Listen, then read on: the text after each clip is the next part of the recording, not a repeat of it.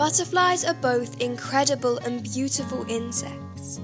They are known for their range of unique colours and patterns, which provide them with a sense of camouflage within their surroundings and come in various shapes and sizes. As they are insects, they have a set of antennae, six legs, and three body segments, known as the head, thorax, and abdomen.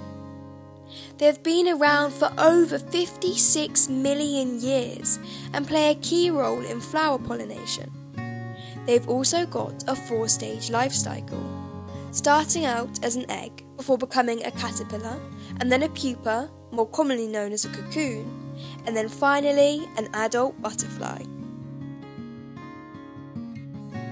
The four wings of a butterfly are built up with tiny scales, and the butterfly with the largest wingspan, which is around 25 centimetres, is the female Queen Alexandra's birdwing butterfly, and the butterfly with the smallest being the western blue pygmy butterfly, which measures just 2 centimetres across.